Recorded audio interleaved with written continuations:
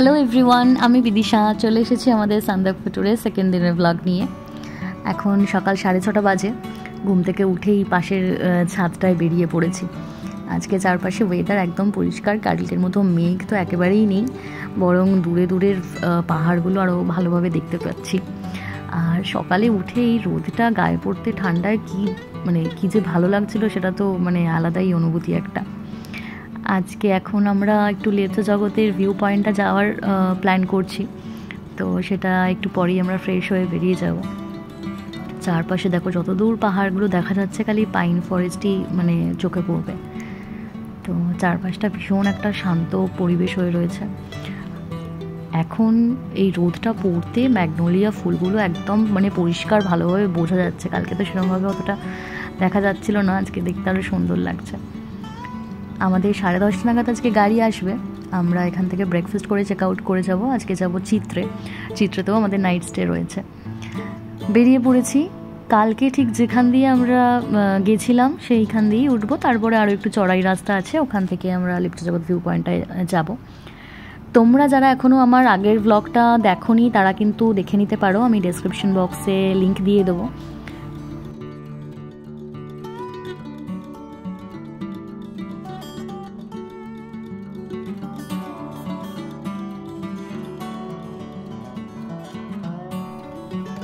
দূর থেকে এই গাছগুলো দেখতে পুরো মনে হচ্ছে ছবি আঁকা। মাঝখান দিয়ে গাছের ফাঁক দিয়ে সূর্যের আলোটা পড়ছে।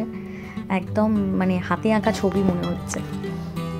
এই যে রাস্তাটা দেখো, সামনে উঠে গেছে সরু মতো। এটাই ভিউ পয়েন্টে যাওয়ার রাস্তা। একটু চড়াই একটু মানে রেস্ট নিয়ে নিয়ে গেলে অসুবিধা কিছু হবে না। প্রায় তোমার পাঁচ, ছ মিনিট আমরা হেঁটে উঠলাম। আর চলে এসেছি ভিউ পয়েন্টে এখানটা চারপাশটায় একদম সিট করা রয়েছে, দোলনা রয়েছে। বেশ সুন্দর জায়গাটা মানে সত্যি ভিউ পয়েন্টের হিসেবে ভীষণ ভালো জায়গাটা। কিন্তু আমরা মানে দূরের কিছুই দেখতে পাচ্ছিলাম না, দেখতেই পাচ্ছ সব চারদিকে মেঘ, পাহাড়গুলো এখনও মেঘেই ঢেকে রয়েছে। আর কাঞ্চনজঙ্ঘা তো মানে একদমই বোঝা যাচ্ছিল না। কিছুক্ষণ বাদে আমরা বসেছিলাম প্রায় আধ ঘণ্টার মতো এখানটা বসেছিলাম। তো যখন আধ ঘণ্টা পরে একটু আমরা একদম হালকা ভিউটা বুঝতে পেরেছিলাম কাঞ্চনজঙ্ঘা।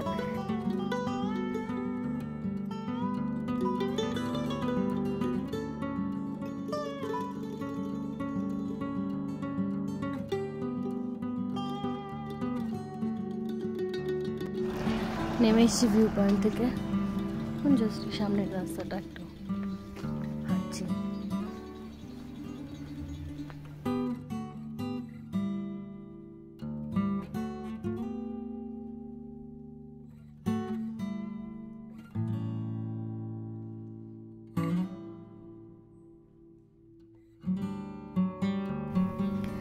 চলো আমি একবার আমাদের রুমটা তোমাদের দেখিয়ে দিই। আর আমাদের কিন্তু দুটো ডাবল বেড রুম নেওয়া ছিল। আর দুটো রুমই অলমোস্ট সিমিলার তাই আমি রুমটাই তোমাদের দেখাচ্ছি। দুটো বেডের কিন্তু দুটো করে ব্ল্যাঙ্কেট দেওয়া ছিল which was more than enough আমাদের কালকে রাতে প্রচণ্ড ঠান্ডা লাগছিল, সেই জন্য আমরা ব্ল্যাঙ্কেট একটা কি করেছিলাম বেডশিটের মতো আমরা পেতে নিয়ে তারপরে আমরা আরও দুটো ব্ল্যাঙ্কেট গায়ে দিয়েছিলাম। প্রচণ্ড ঠান্ডা ছিল কাল রাতে। আর দেখতেই পাচ্ছ দুটো চেয়ার রয়েছে টেবিল রয়েছে। সামনে যে জানলাটা দেখতে পাচ্ছ, ওই জানলার সামনে যে রাস্তাটা রয়েছে, ওখান দিয়ে মেন রাস্তায় উঠতে হয়। কালকে আমি তোমাদের দেখিয়েছি, ওখান দিয়েই নেমে আমরা এসেছি। কাল সন্ধেবেলা আমাদের স্ন্যাক্স হিসেবে পকোড়া দিয়েছিল, চা দিয়েছিল। এখানে দেখো ছোটো আয়না আছে আর দুটো হ্যাঙ্গার লাগানো আছে জামা কাপড় রাখার জন্য। বাথরুমে কিন্তু চব্বিশ ঘন্টাই গরম জল ছিল। তো কোনো রকম অসুবিধা হয়নি। একটাই যেটা প্রবলেম হয়েছিল যে এখানে কিন্তু কোনো রকম টয়লেট্রিজ যেটা বলো হ্যান্ড সোপ বা সাবান সেরকম কিছু আমাদের প্রোভাইড করা হয়নি। তো লাকিলি আমরা সেগুলো ক্যারি করছিলাম, সেই জন্য কোনো অসুবিধা হয়নি। আদারওয়াইজ কিন্তু কোনো প্রবলেম হয়নি। আমাদের এই হোমস্টের এক্সপিরিয়েন্স কিন্তু ভীষণ ভালো। রাতেও আমাদের ডিনার যেটা ছিল, রুটি, মাংস আমরা খেয়েছিলাম, তো খুব ভালো ছিল।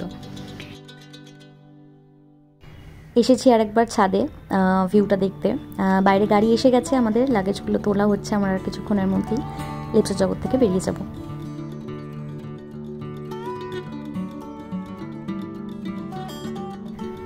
বেরিয়ে পড়েছি চলে এসেছি কিছুটা রাস্তা, এখন প্রায় পৌনে এগারোটার মতো বাজে। লেপ্টো জগৎ থেকে চিত্রের ডিস্টেন্স প্রায় চোদ্দ কিলোমিটার তার একটু কমই হবে। আর আমরা মানেভঞ্জন হয়েই চিত্রে যাব। মানেভঞ্জন থেকে আমাদের সান্দাকফুতে থাকার যে ট্যুরিস্ট প্লাস গাড়ির যে পারমিট নিতে হয়, সেই পারমিট কালেক্ট করব। দেন ওখান থেকে চিত্রে আমরা রওনা দেবো আবার।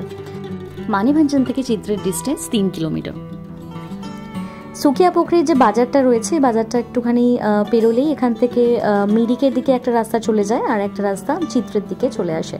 তো সেই চিত্রের দিকের রাস্তাটাতেই চলে এসেছি। এখানে রাস্তা কিন্তু আমরা যেহেতু পাহাড় থেকে নামছি, একটু খাড়াই রাস্তা। আর ভিউ তো সেই অসাধারণ মানে এই পাহাড়ি রাস্তায় যেতে যেতে কখনো মানে বোর হওয়ার কোনো ব্যাপার নেই। সবসময় চারদিক দেখতে দেখতে ভীষণ ভালো লাগে যেতে।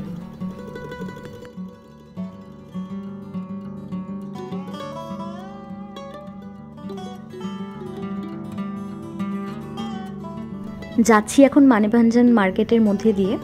সান্দাকফুর জন্য যে ল্যান্ড রোভার বা বোলেরো গাড়িগুলো যায়, সেগুলো কিন্তু এখান থেকেই ছাড়ে বা এখান থেকে বুক করতে হয়। তো আমাদের যেহেতু আগে থেকে সমস্ত কিছু আমরা বুকিং করে এসেছি, আমাদের ল্যান্ড রোভার আমরা বুক করেছি, তো সেটা কাল সকালে আমাদের চিত্রে থেকে পিক আপ করবে। এখন আমাদের এই গাড়িতেই চিত্রে ছেড়ে দেবে। এই এখন পারমিশনের অফিসে আমরা দাঁড়িয়েছি। আমি বাইরেটাতে ওয়েট করছি, ওরা সব ভেতরে ঢুকেছে টিকিটগুলো নেওয়ার জন্যে। আমাদের ড্রাইভার দাদা যে ছিল, সে বলল যে, আমরা যে ওই সামনের দিকের পাহাড়টা দেখতে পাচ্ছ, ওই পাহাড়টার অপোজিট সাইডটাতে ছিলাম। লেপ্ট জগতী পাহাড়টার অপোজিট সাইড তো আমরা একটা পাহাড় থেকে আর একটা পাহাড়ে চলে এলাম। আর এই জার্নিটা কিন্তু ভীষণ সুন্দর ছিল ভিউটা ভীষণ ভালো ছিল, আমরা ভীষণ এনজয় করেছি আস্তে আস্তে। এখন এই পারমিটটা নেওয়া হয়ে গেলে আমরা আবার রওনা দেবো চিত্রের উদ্দেশ্যে। তো এই এখান থেকে চিত্রের রাস্তাটা নাকি অনেকটাই বেশি চড়াই, যেটা ড্রাইভার দাদা বলছিল।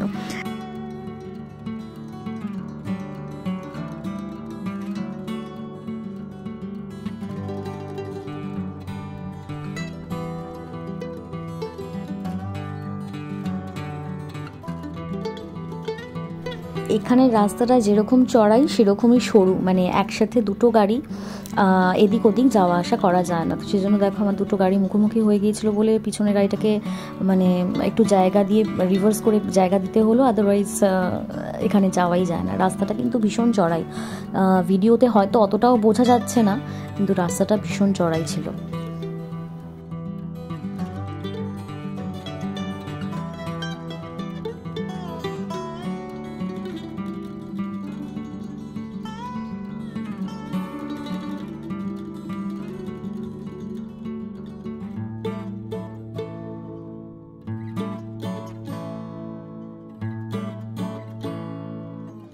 প্রায় পৌঁছে গেছি আমরা। ওই যে দূরে একটা মনেস্ট্রি দেখা যাচ্ছিল, ওটা চিত্রে মনেস্ট্রি এই রাস্তাটা টার্ন নিলেই আমরা আমাদের হোমস্টের কাছাকাছি পৌঁছে যাব। আমরা চিত্রেতে থাকব হক্স নেস্ট হোমস্টেতে এখানে সব কটাই হোমস্টে রয়েছে। আর হক্স নেস্টটা তার মধ্যে বেটার অপশন অনেকে এই হক্সনেস্ট হোমস্টে প্লাস এটা ক্যাফে তো এখানে অনেকে যখন সাইট সিং করতে করতে সান্দাকফু যায় এইখানে এই ক্যাফেতে অনেকে হল্ট নেয়। আর এই যে নেমে পড়েছি আমি গাড়ি থেকে, এবারে গিয়ে চেক ইন করব। সামনে হচ্ছে এই ভিউটা এখানে কিন্তু অসম্ভব সুন্দর একটা ওয়েদার আর ঠান্ডাটাও একটু বেশি লেপস জগতের থেকে, কারণ অনেকটাই উপরে এসছি। আর ওই যে দূরে যে দেখা যাচ্ছে বাড়িটা, ওটাই আমাদের হোমস্টে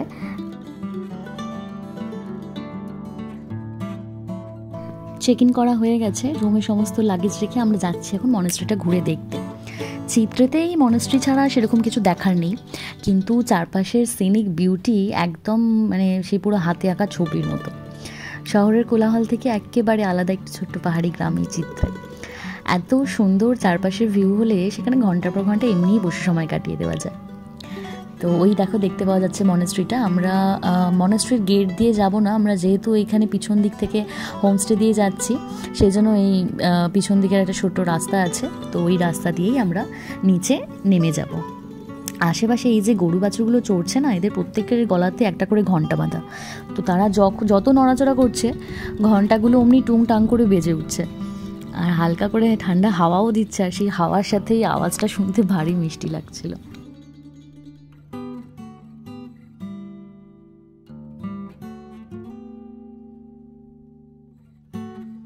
সান্দাকফু যেতে অনেকেই চিত্রেতে কিন্তু হল্ট নিলে এই মনেস্ট্রিটা ঘুরে এসে দেখে যায়।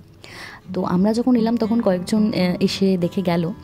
আর পাহাড়ে এই মনেস্ট্রিগুলোতে এসে বেশ আলাদা কিন্তু একটা শান্তি অনুভব করা যায়, দেখবে। আমার কিন্তু ভীষণ ভালো লাগে।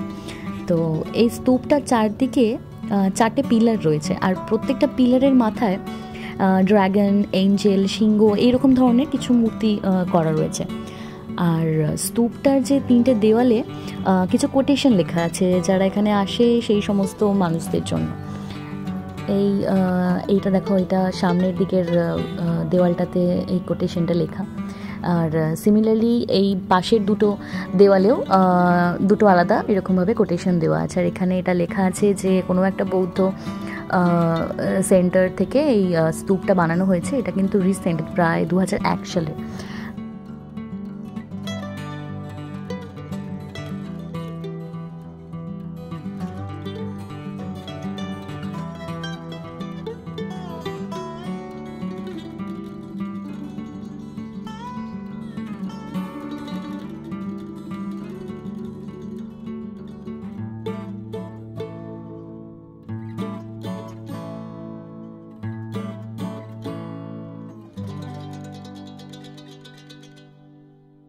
স্তূপের সামনে সিঁড়িটা দিয়ে নেমে আমরা মনেস্ট্রির দিকে এগোচ্ছি।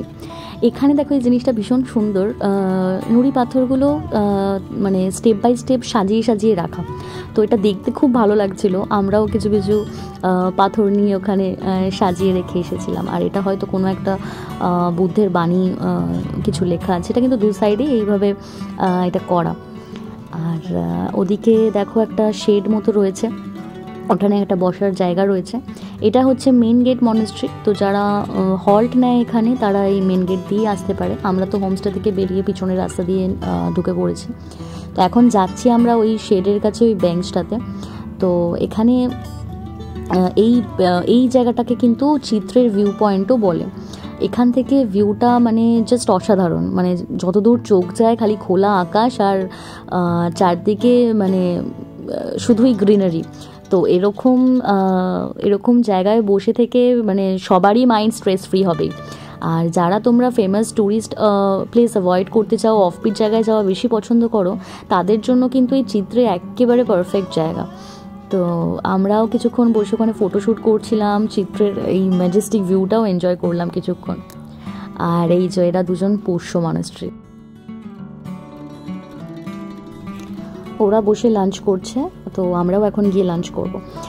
আর আমাদের কিন্তু মনেস্ট্রির ভেতরে ঢোকা হয়নি, কারণ যেহেতু কাজ চলছিল, তাই আর মনেস্ট্রিটা ভিতরে ঢুকে দেখা হয়নি।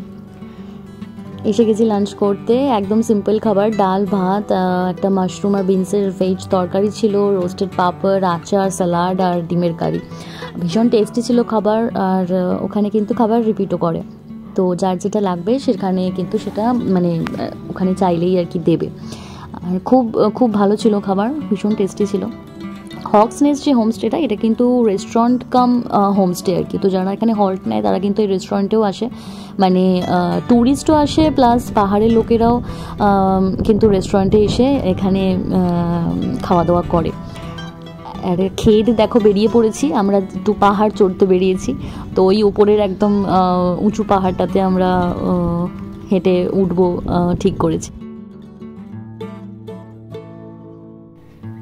আমরা যেখানে আছি সেটা হচ্ছে লোয়ার চিত্রে, আর মেন রাস্তা ধরে কিছুটা উপরে উঠলে একটা এসএসপি ক্যাম্প রয়েছে। তো ওখান থেকে কাঞ্চনজঙ্ঘা নাকি দেখতে পাওয়া যায়। এখান থেকে কিন্তু দেখা যায় না।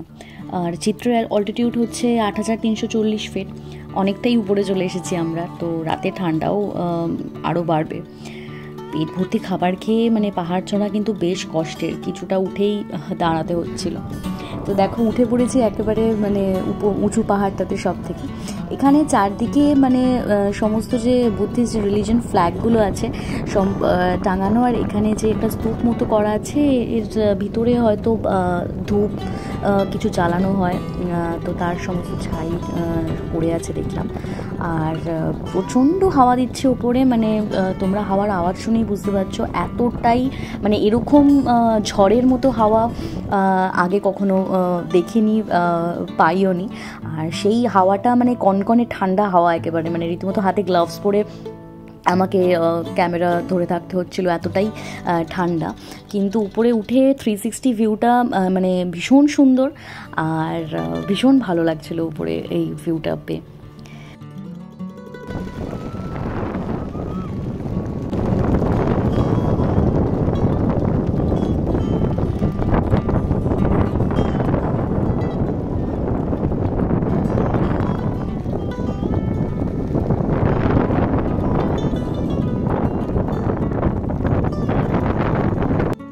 ওখানে কিছুক্ষণ বসে তারপর আমরা আবার নেমে এসেছিলাম।